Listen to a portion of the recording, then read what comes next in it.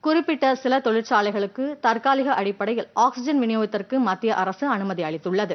எனினும் மருத்துவ பயன்பாட்டிற்கான ஆக்ஸிஜன் போதிய அளவிற்கு இருப்பதை உறுதி செய்த பிறகே தொழிற்சாலைகளுக்கு ஆக்ஸிஜன் வழங்க வேண்டும் என்று மத்திய உள்துறை அமைச்சகம் தெரிவித்துள்ளது.